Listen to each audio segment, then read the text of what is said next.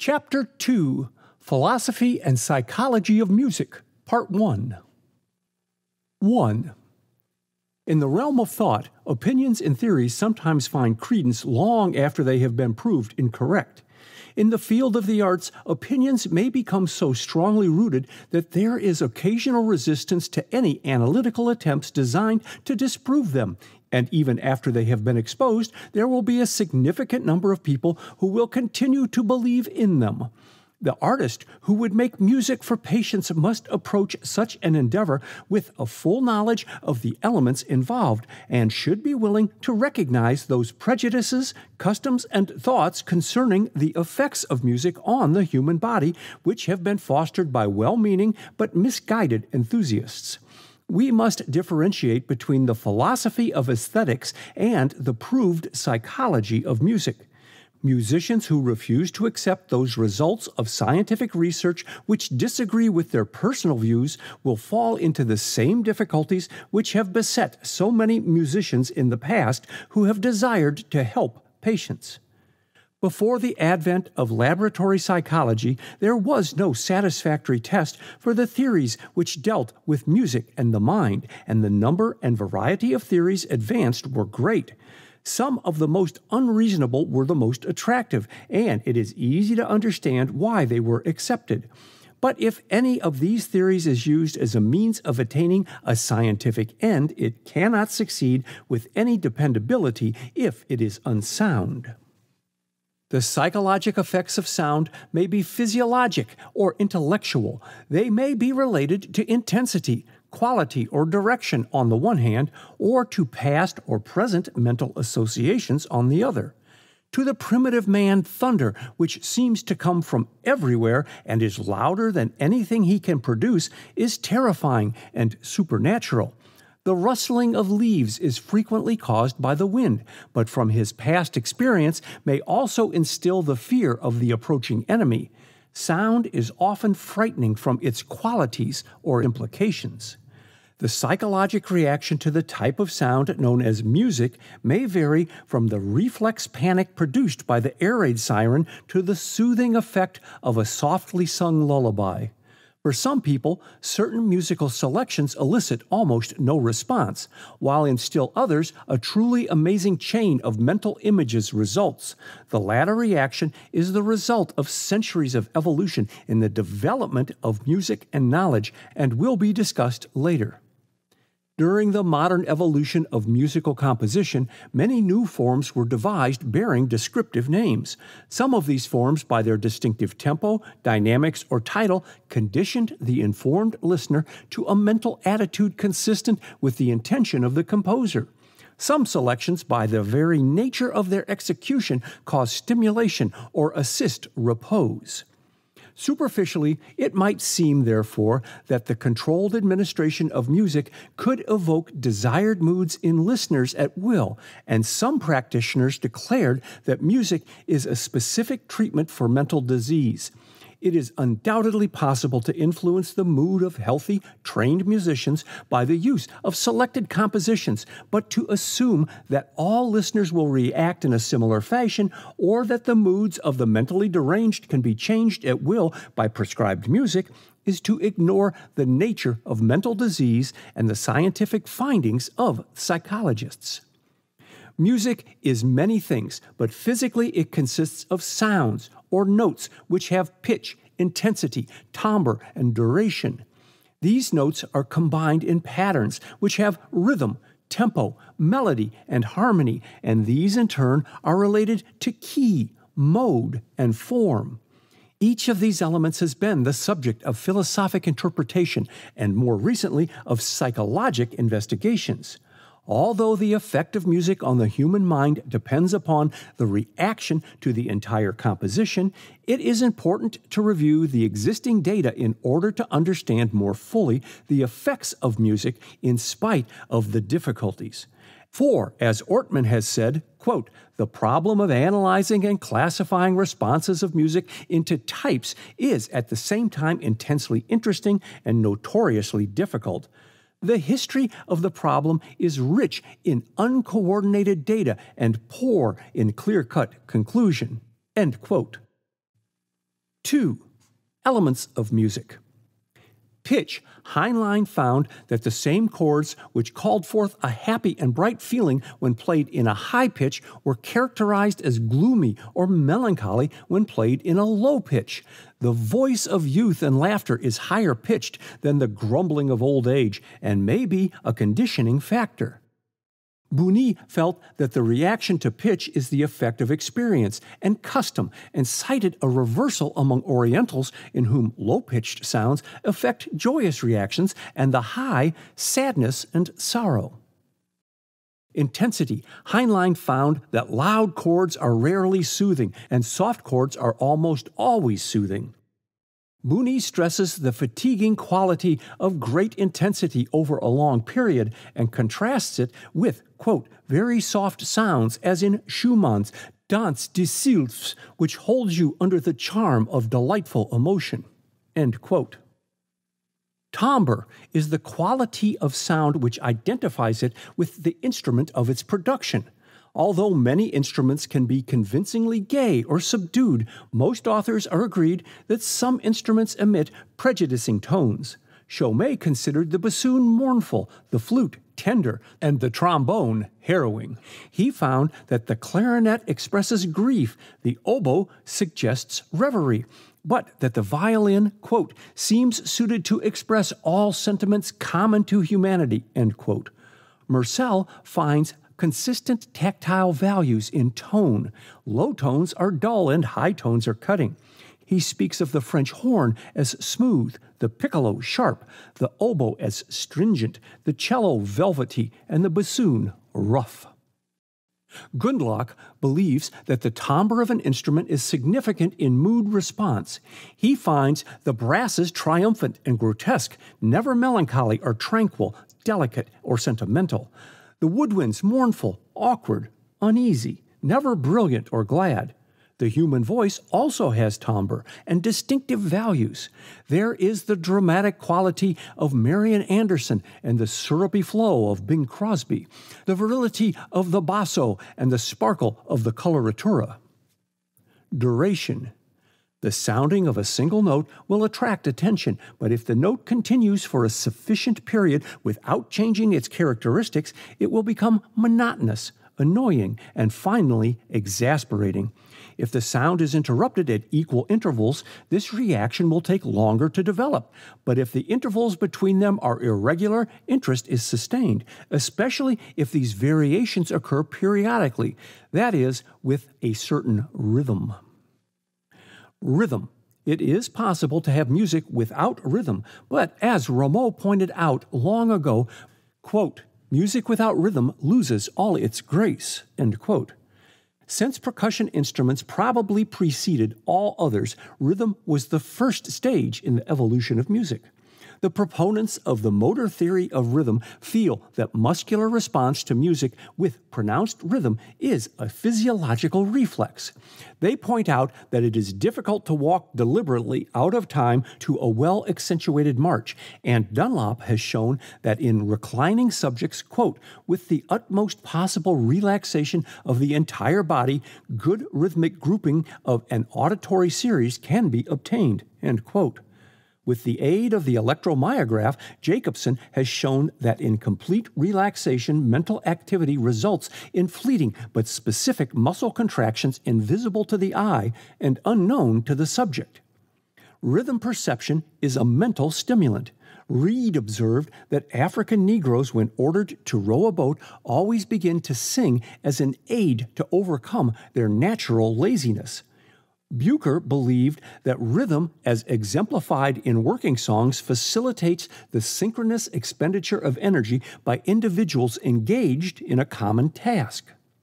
Although rhythmic song will not necessarily elicit obvious motor responses in all subjects, the widespread use of work songs among groups of people engaged at hard work on land or sea throughout the world is indicative of the value of background rhythm for communal effort. Mursell believes that, quote, any notion that pure or naked rhythm is more effective than rhythm clothed in tone is open to very serious doubt, End quote. But the chief effect of marked rhythm is the feeling of excitement and happiness which it can arouse. Rhythm gives us a certain pleasure because of its orderliness to which the mind is sensible. Melody, as a musical element, contributes chiefly to restfulness. If it is simple and recognizable, it will recall other times and rest the mind from the thoughts of present problems. If it is complex and new, it will distract the more musical, but have a less desirable effect on the uninterested. Mode. The term mode is applied to the arrangement of whole and half tones in the musical scale construction. Of the many possible modes, only two are used in our present system of music the major and the minor. There is only one form of the major mode, and it is the one most people recall when they think of the scale. There are three forms of the minor mode, but of these, the harmonic is the most frequently used. It is formed by lowering the third and sixth notes by a half tone. When an author pioneers convincingly in a field which has long needed clarification, it is likely that even his questionable remarks will be accepted with the same degree of authority as his scientific statements. In 1722, Rameau published a treatise on harmony which received wide acceptance because of its excellence and comprehension. But in that work, he prejudiced many of the writers who followed into believing that the major triad was more pleasing and beautiful than the minor. This concept was not only adopted but embroidered. Hauptmann likened the minor triad to the branches of the weeping willow and hence attributed to it a mournful, downward drawing power. To the major triad, he assigned the property of an upward driving force. When this is taken literally, as it was, and applied to the patient, we can see clearly why remarkable attributes were claimed for music. Now, there is little doubt that if the triad of C minor is struck on a piano after that of C major, most people will describe the sensation elicited by the sound of the minor chord as melancholy. Helmholtz attributed the veiled or sad effect of a minor chord to certain notes foreign to the chord which physical reasoning expects. Quote, the foreign element thus introduced is not sufficiently distinct to destroy the harmony, but it is enough to give a mysterious, obscure effect to the musical character and meaning of these chords, an effect for which the hearer is unable to account because the weak combinational tones on which it depends are concealed by other, louder tones and are audible only to a practiced ear. End quote. But Gurney refuses to admit to a sense of melancholy in this slight dissonance, for, as he points out, quote, the same slight degree of dissonance as exists in the minor triad may be made to supervene on a major triad by adding to it a certain extremely faint amount of discordant elements. It would seem then that the major triad, thus slightly dimmed or confused, ought to sound melancholy, but it does not in the least. Another argument may be found in the following fact. The minor triads of D and A are of perpetual occurrence among the harmonies of C major, and yet they do not seem then to convey the distinctly pathetic impression instantly produced by the appearance of the C minor triad. Music in a major key may be profoundly mournful, and it would often be impossible for any description to touch the musically felt difference between such music and mournful minor music. The minor mode has a somewhat more constant range of effect. End quote. Such discussions continued until Valentine decided to test the mode effect of the modes on a group of listeners. He found that, quote, major intervals are described as sad or plaintive twice as often as the minor, end quote. Heinlein not only substantiated this, but found that intensity was the dominant modifier of feeling. He reviewed more than 2,500 compositions for beginners, and among them found only 7% written in the minor mode. Quote, it is a difficult matter to obtain a composition in the minor mode written for children that does not have a title which relates to the weird, the mysterious, the sad, and the gloomy. Apparently, composers, in their attempts to differentiate the modes for children, fall victim to the method of introducing titles opposite to feeling content. To children, the title of a composition is a very outstanding feature. It may be, after all, that reaction to the modes is largely a question of the extent to which association with descriptive titles of a specific variety first establishes the effective impressions in the mind of the beginner. Thus, it can be seen that composers have been nurturing an old philosophy by titles rather than music. Monet has shown that although among European composers the major mode has been used for bright and restful passages and the minor mode has been used for uneasy and stirring selections, a study of the music of other races will uncover an entirely opposite use.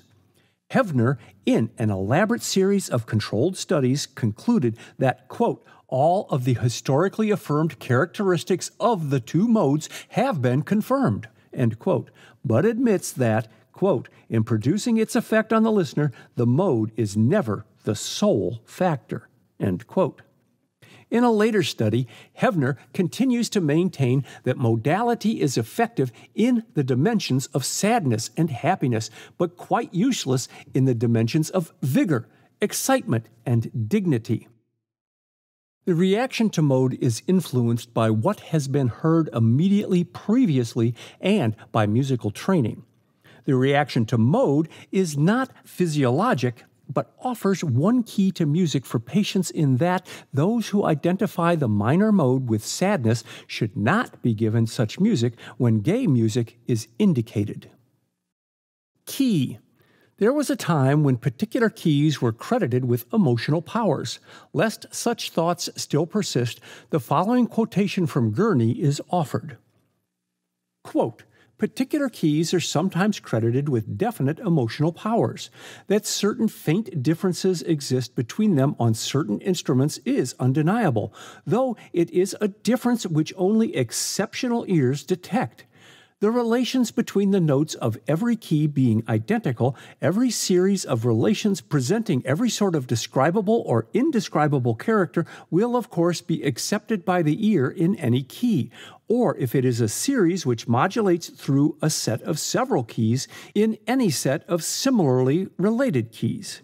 But as it must have a highest and a lowest note, it will be important, especially in writing for a particular instrument, to choose such a key that these notes shall not be inconvenient or impossible. And also, the mechanical difficulties of an instrument may make certain keys preferable for certain passages. Subject to corrections from considerations of this sort, the composer probably generally chooses the key in which the gem of his work first flashes across his mind's eye, and when the music has once been seen and known written in a certain key, the very look of it becomes so associated with itself that the idea of changing the key may produce a certain shock. But the cases are few indeed where, had the music been first presented to anyone's ears in a key differing by a semitone from that in which it actually stands, he would have perceived the slightest necessity for alteration. And, as a matter of fact, when a bit of music is thought over or hummed or whistled, unless by a person of exceptionally gifted ear, it is naturally far oftener than not in some different key to that in which it has been written and heard. Even the difference most commonly alleged between C major as bright and strong and D flat as soft and veiled comes to almost nothing when a bright piece is played in D flat or a dreamy one in C. That a variety of emotional characters can be definitely attributed to various keys is a notion so glaringly absurd that I would not mention it were it not that it is commonly held, and that such doctrines are really harmful by making humble and genuine lovers of music believe that there are regions of musical feeling absolutely beyond their powers of conception. In an unnamed manual, the following statements occur. Quote, C major expresses feeling in a pure, certain, and decisive manner. It is furthermore expressive of innocence, of a powerful resolve, of manly earnestness, and deep religious feeling. G minor expresses sometimes sadness, sometimes, on the other hand, quiet and sedate joy, a gentle grace with a slight touch of dreamy melancholy, and occasionally it rises to romantic elevation. It effectively portrays the sentimental, etc. Another author quoted by Schumann found in G minor discontent, discomfort, worrying anxiety about an unsuccessful plan, ill tempered gnawing at the bit.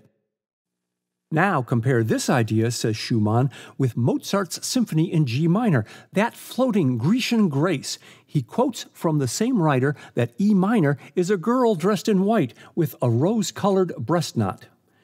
These are but abstracts, and a good deal of humor is lost by selection. For the characters of several of his keys, the author gives a list of examples, the choice of which, inasmuch as every possible character might be exemplified from compositions in every single key, cannot have been very difficult.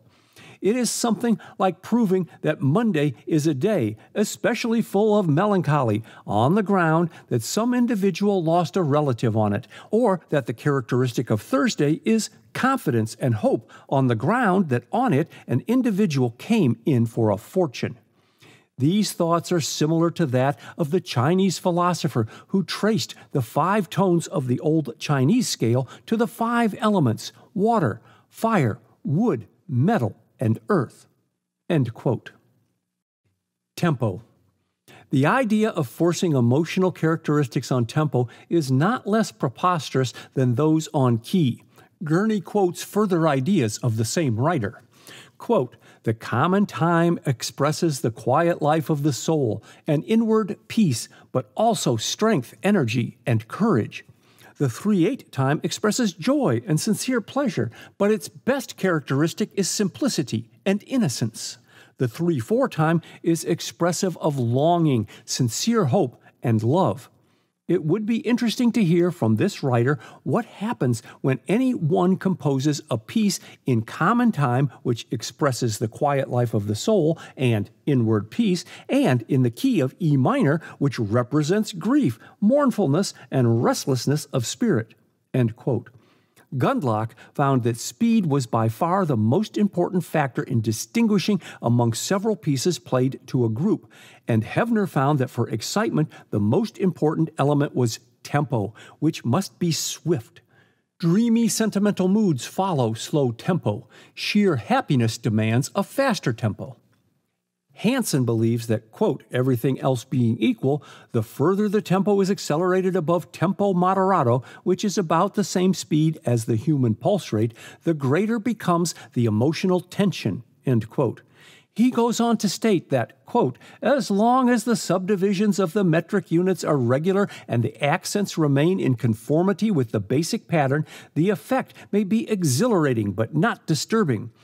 Rhythmic tension is heightened by the extent to which the dynamic accent is misplaced in terms of metric accent, and the emotional effect of off balance accents is greatly heightened by an increase in dynamic power. End quote. He is unduly alarmed by the effect boogie woogie may have on the younger generation because rhythm irregularity finds its most fertile field in this jazz form characterized by, quote, a repeated figure in the bass which continues indefinitely in regular rhythm, end quote. Sonority. Hanson has traced the development of music from the highly consonant music of the Roman Catholic Church at about the time of Palestrina to the dissonant music of certain modern composers. He describes the early hymns as, quote, calm, serene, and in a sense impersonal, end quote. For him, quote, the expression of personal feeling in music seems inevitably to be associated with the use of dissonance. Indeed, the expression of emotion in music seems to be bound up in the contrast between dissonance and consonance, the former producing a sense of tension and conflict, to be either heightened by progression to a sonority of still greater tension or resolved by a succeeding consonance. End quote. It may be easy for a musician to believe that the increased use of dissonance creates an increase of emotional tension, but to the musically uncultured listener, dissonance may just as often create boredom or annoyance. Composition Although musical factors such as pitch, intensity, and melody can contribute to mood effect when isolated, the reaction to an entire composition is quite different from reaction to tones of chords. It may depend upon environment or association with the situation in which the selection was first heard or is being heard it may be altered by the length of the composition or unanticipated contrasts of intensity or the use of unusual patterns, rhythm, or tempo. In listening to music, expectation plays an important role. A sudden change or interruption is apt to excite surprise. The mere meeting of the expectation in all its details affords pleasure of a kind, but great as is the aesthetic pleasure, a far greater degree of enjoyment may at times be attained by a carefully planned surprise, the appropriateness and artistic skill of which is recognized and approved.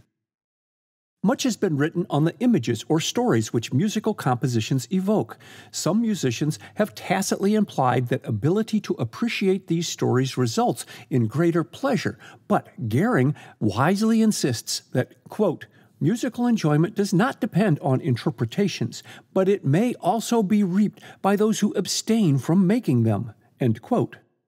There are some people who can interpret any musical selection, and others who find no story.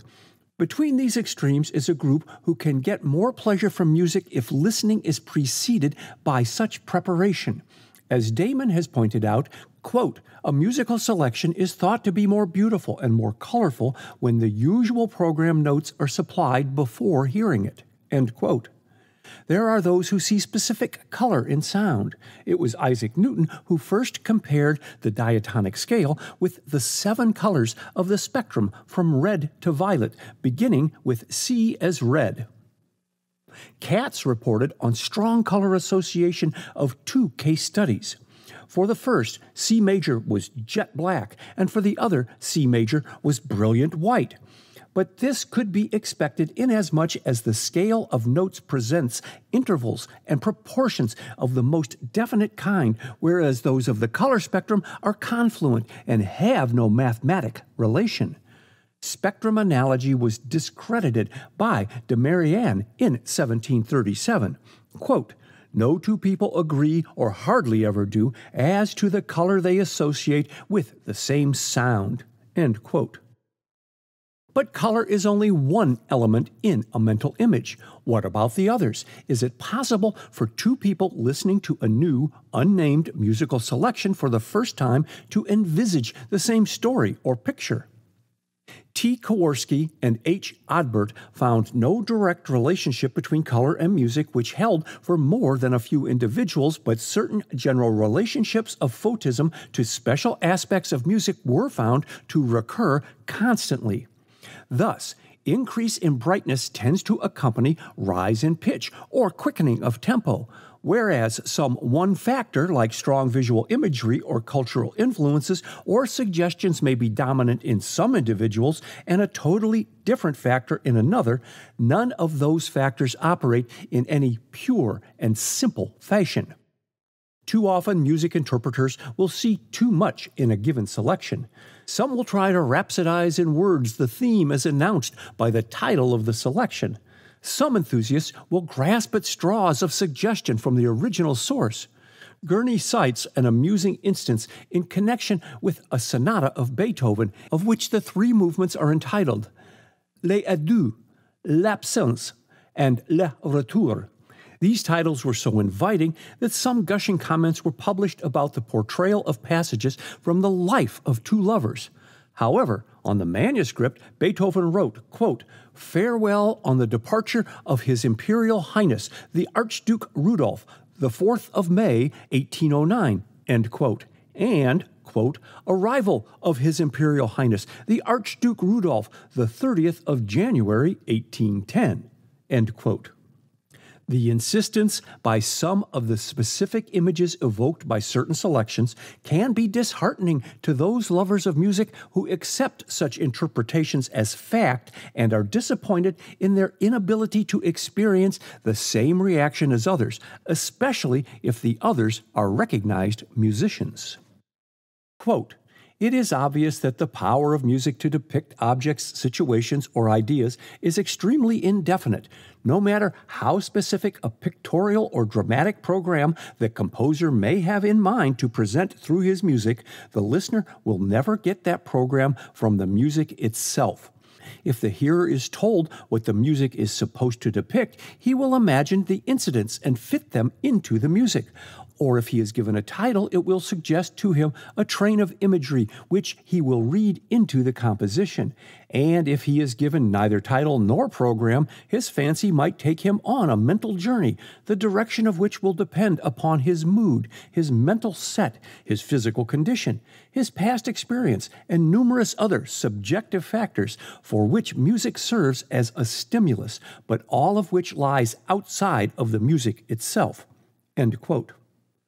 Thus, when Rubinstein read into the second ballad of Chopin the story of a wild flower caught by a gust of wind, the struggles of the flower and its final breaking, he confused the issue by adding a second interpretation to the music, which was inspired by Mickiewicz's poem, Schweitz Lake, the story of which is totally different. When Gilman played this same song for his students, there were many interpretations which ran the gamut from meaningless to creeping assassins. Beethoven's complaints of his interpreters and expounders were frequent and bitter, but we must turn to the writings of the more literary musicians, Mendelssohn and Schumann, for coherent expressions on the subject. Mendelssohn wrote, quote, what any music I like expresses for me is not thoughts too indefinite to clothe in words, but too definite. If you asked me what I thought on the occasion in question, I say the song itself precisely as it stands. Schumann's position as regards verbal readings of music may be gathered from the following passage. Quote, Critics always wish to know what the composer himself cannot tell them, and critics sometimes hardly understand the tenth part of what they talk about. Good heavens, will the day ever come when people will cease to ask us what we mean by our divine compositions? Pick out the fifths, but leave us in peace. End quote. Some musical selections have been written to accompany a subject.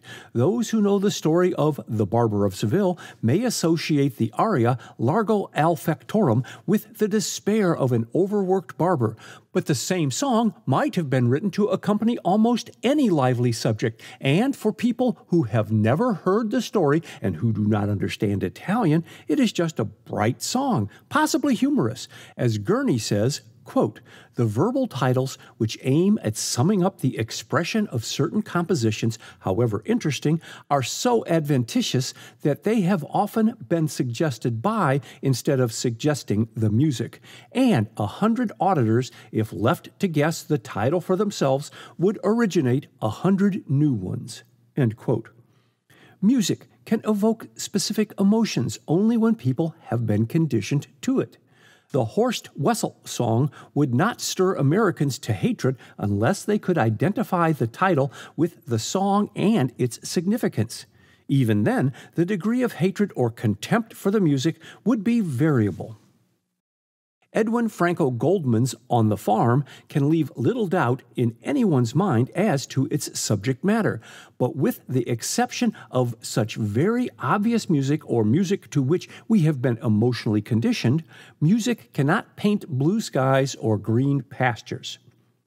What then are the feelings most frequently excited by music? According to Schoen, quote, the data show that rest, sadness, Joy, love, longing, and reverence appear most frequently as the effects produced. Vocal music has a tendency to arouse well defined emotional effects far more often than instrumental, the probability being that the specific emotional effect is due in main to the words. The conclusions of Schoen on mood changes in a tested group sum up the relationship between mood changes and enjoyment. Thus, for practical purposes, we want to know not only whether a musical composition produces a mood change in the listener, but also what is of greater significance, whether the induced mood is also enjoyed, and to what degree this enjoyment might depend on such factors as the type of mood induced. The listener's familiarity with the selection and his judgment of the quality of the selection are also important. The results of a large series of observations show, as a rule, that music produced a mood change in every listener, or that an existing mood was intensified when it conformed with the mood of the music. The tendency of the same composition to produce the same mood in every listener was very marked. The degree of enjoyment derived from the musical composition was in direct proportion to the intensity of the mood effect produced, provided this effect was not due to the conditions of the performance, such as a poor intonation or faulty interpretation. Quote, no greater amount of enjoyment was derived from one type of mood than from another type, unless the mood was due to dislike of the specific type of music or to a poor performance. But when the mood change was from joyful to serious, the enjoyment seemed to be slightly less than when the change was from serious to joyful provided the hearer was not hampered by a knowledge of the critical estimate of the music to which he was listening, or by faulty interpretation. The evaluation of the quality of the musical composition was in direct proportion to the intensity of enjoyment. 3. Other conditioning factors. In addition to the physical elements of music previously discussed, there are other factors which enter into the type of response of mind and body to music. Mention has been made above of the value of program notes. People who hear new music for the first time may or may not develop a visual or emotional response, but if prepared by descriptive writing, they may understand or at least enjoy the music more. Quote, Program notes, oral comments, and the general setting of the presentation are important because they concentrate and reinforce the mood response. Indeed, it has been shown that in a verbal introduction offered before a composition is presented, what is said does not matter much, and that almost any kind of comment will enhance the listener's enjoyment if it serves to cue him into appropriate, effective states of mind. End quote. Music aides should take this finding seriously and preface the playing of musical selections with verbal commentary. Even popular dance music may be prefaced by remarks about the solo instrument featured or the personalities involved. With the exception of the effects of rhythm, all other reactions thus far cited have been largely psychologic. Before leaving the discussion of response, one bit of evidence demonstrating possible physiologic action will be presented. Gundlach studied the songs of six different American Indian tribes. Now, the language, customs, and music of neighboring European countries frequently have something in common, but the absence of the wheel in transportation made the scattered people of the Western Hemisphere strangers to each other. The speech and songs of the different Indian nations are entirely unrelated, yet the songs representing the same types of ceremonies show considerable agreement. From this, Gundlach concludes that, quote, music has some conventions grounded on a firm basis of physiologic structure and behavioral similarity of human beings, end quote. A. Live music most people will turn to the source of sound. Even the most phlegmatic will turn if the sound is sudden and loud enough. It is a protective mechanism because identification of the source may prevent personal injury. There is also a sense of satisfaction in the corroboration of the auditory and visual images. When the sound is musical, the desire to see its production is greatly increased. For those who cannot make music themselves, it is like watching a conjurer from behind. For musicians, it offers the opportunity of inspection, improvement, or criticism. One of the most important psychologic components of music is the physical presence of the music maker. About 20 years ago, a manufacturer produced piano player rolls which reproduced the manipulation of well known artists so well that experts could not differentiate between the sounds produced on the piano by a live pianist and the automatic player. Yet, this method of reproduction was a failure financially. It had every quality of the live musician except the physical presence we demand far less in quality of music from a live band than from a mechanical reproduction of band music. Groups of people who assemble to dance will pay relatively high prices for inexperienced players with a monotonous repertoire for the sake of having live music. The dancers may complain of the poor musical execution, but will suffer a return engagement in preference to the playing of recorded music. There are cinema stars whose singing voices are harsh to most ears, yet listeners will applaud them into an encore, not so much for the sake of a beautiful experience, but to prolong the human contact. We react not only to sound, but to the motions and very presence of music makers. We listen to people as well as their music. Live music stimulates, sustains, and focuses attention. It should be used as often as possible for patients. The live musician can get patients to listen to musical forms which would be entirely ignored otherwise. If musicians wish to spread the appreciation of good music and music appreciation, one method is to be found in personal appearances at hospitals. B. The human voice. Of all the sounds of given pitch and intensity, the one which best attracts and maintains interest is the human voice. We habitually turn to the human voice. Sometimes we do it as a matter of courtesy. Again, we may do it for better understanding or even out of curiosity. The spoken language is understood by far more people than is the so called language of music. When words are set to music, they command greater attention than when they are spoken. They are usually compact and in rhyme. We strain to hear each word to gather the full meaning and humor or cleverness of the lyricist. Yet we willingly lower our literary standards when words are put to music. The verses of many songs sound vacuous and repetitious without accompaniment, but the words are made interesting by the melody, and the melody takes on additional meaning from the words. Vocal music has greater power to arouse a definite emotional response than has instrumental music. Rest results about equally from instrumental and vocal music. Songs with words are ideally suited for arousing patient interest. Community singing is the most valuable form of music for maximum group response. Listening. Violet Paget sent questionnaires to 150 people in different parts of the world to obtain a global sampling of reactions to music. From an analysis of their answers, she found, quote, two different modes of responding to music, each of which was claimed to be the only one in those in whom it was habitual. One may be called, quote, listening, end quote, to music, the other, quote, hearing, end quote, with lapses into merely overhearing it. Listening implied the most active attention. Hearing is a lesser degree of the same mental activity where active attention occurs in moments like islands continuously washed over by a shallow tide of other thoughts. End quote. This is very similar to Gurney's classification of musical perception as definite and indefinite. Vernon lists the varieties of response to indefinite listening as a. Reflex or physiological, soothing or stimulating. B. General euphoria. C. Stimulation of thought and wandering of attention.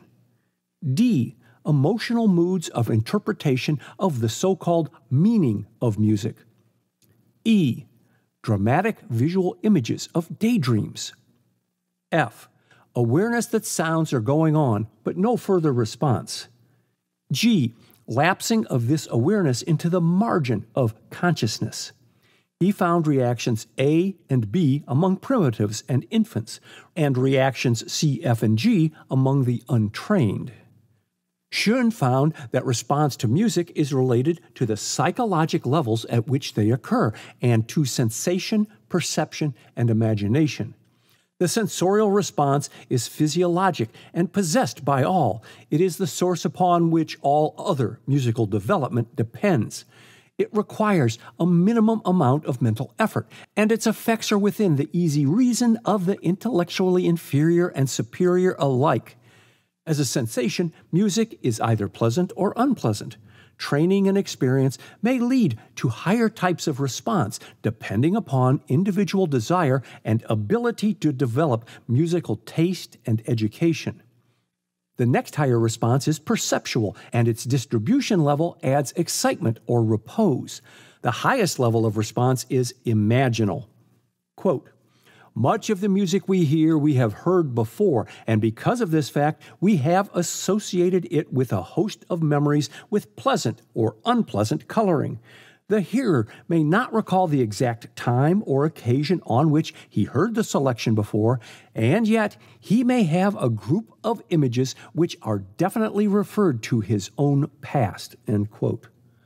Meyer summarizes the appeal that music might have for listeners as one, emotional response.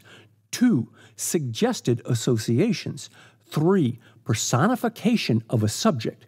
Four, its value as an object. Four, musical taste. The selection of music for patients can be handled in many ways. The easiest and least reliable is to use the music best loved by the musician guiding the program. Such programming will undoubtedly meet the approval of some of the patients, but it is unlikely that it will meet with the approval of all. Non psychiatric patients should be given the music they want. Much has been written concerning specific music for certain groups of patients there has been considerable prejudice in favor of good music. That is, good in its relation to intellectual values.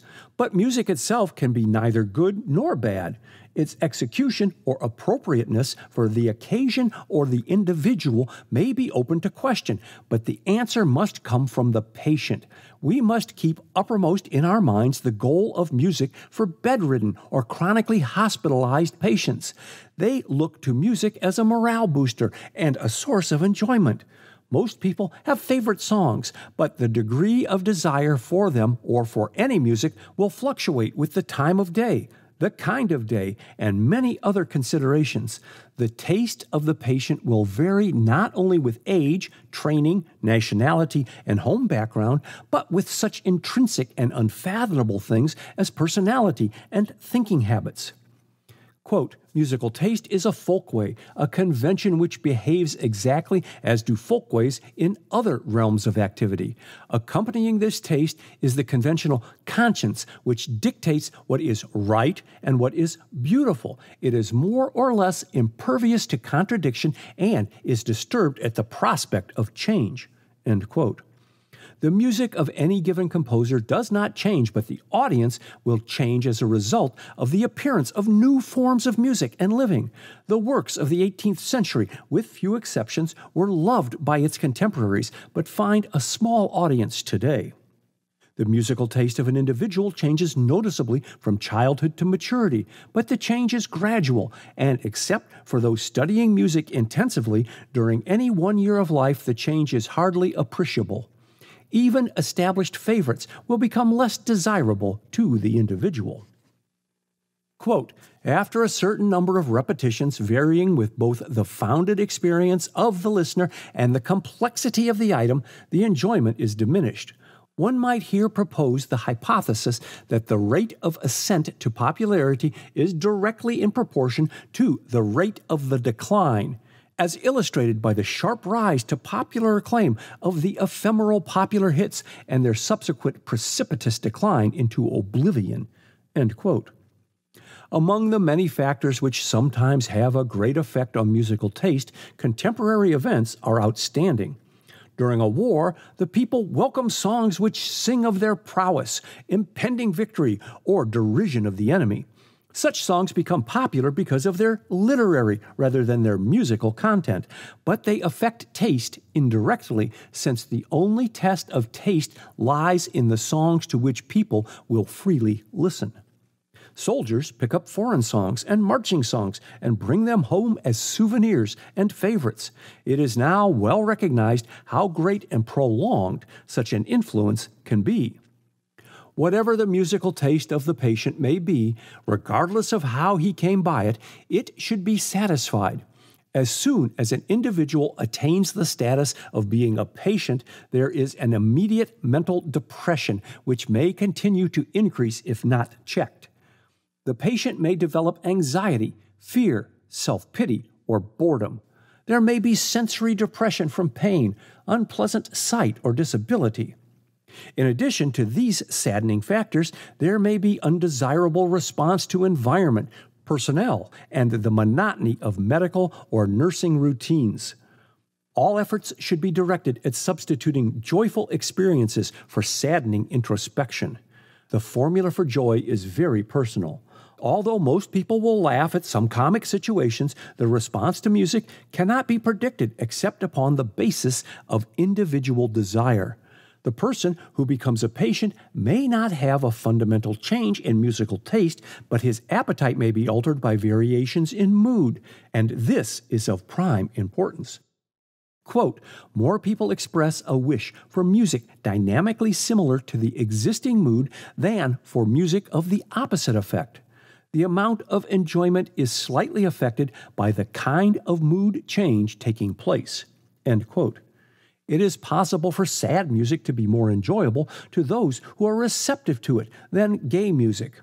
Nevertheless, other things being equal, gay music is apt to give a greater degree of pleasure to those who wish to hear it than sad music gives to its devotees.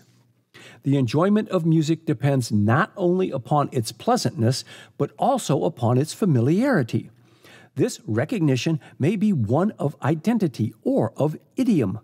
Most people like popular music because they are familiar with its form or tempo, or because they can hum or name it. The musical taste of the patient can readily be determined by offering him a checklist with the names of 50 or more selections, including the entire gamut of musical forms. A general idea of the popularity of classical selections can be determined from the sales records of recordings and the frequency with which certain pieces are performed by the better symphonic orchestras. The popularity of contemporary offerings can be learned from surveys published in such magazines as Variety and Downbeat, or by listening to radio shows such as The Hit Parade. Musical taste is closely allied to performance. If chosen selections are played improperly or without regard to certain elementary considerations, the use of music will lose its value to the patient. A brief consideration must include the effects of arrangement, tempo, and volume with which the selections are played, since these have been seen to influence the effects of the selection. Many people, when asked to name their favorite music, will name a performer or a band rather than a specific piece because they have come to desire the characteristic style of the artist's preferred, and style in an orchestra is closely related to these factors. Some listeners prefer loud music, but it must be remembered that even though sound does not become painful until the level of 125 decibels is reached, there are some people for whom the painful level is much lower, and hypersensitivity to sound is an important source of irritation. Others may be disturbed by music which is too fast, which must be taken into consideration. The role of expectation plays an important part in taste most people who have been conditioned to expect the classic use of the scale and traditional harmony cannot find joy in the unusual tonal structure of the moderns as exemplified in Schoenberg or even Stravinsky. Hospitalization is not the proper period of life for indoctrination into the beauties of innovations. Musical taste is acquired and always relative and is based, as Diserens has pointed out, on the habit of hearing. An historical illustration of this is the evolution of the consonances. The Greeks regarded the octave as the only genuine consonants.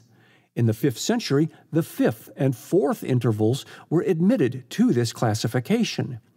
In the 11th century, the major third was accepted as such, but the minor third had to wait until the 12th century. In music, the habit of hearing is the law, and through it, the exception of yesterday becomes the rule of today. The best analysis of musical appetite can be found in the statement of St. Thomas Aquinas Bonum est in quod tendit appetitus. The good is that toward which the appetite tends. We repeat, there is no such thing as good music or bad music. Music may be played poorly, but the evaluation of the good in music is personal. Pleasure, and pleasure alone, is the proper purpose of art, said Walter Sickert.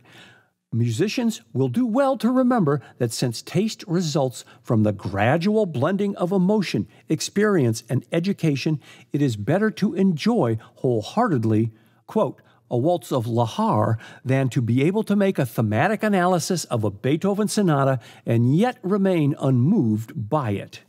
End quote. 5. Summary For non psychiatric patients, musical programming should be based upon patient requests. For stimulation, the important factors are rapid tempo, accentuated rhythm, and elevated volume. For sedation, slow tempo and reduced volume are indicated, as well as simple, recognizable melodies. Some discussion of the selection to follow is a valuable aid to the enjoyment of listening. Live musicians should be used as often as possible. End of section 4.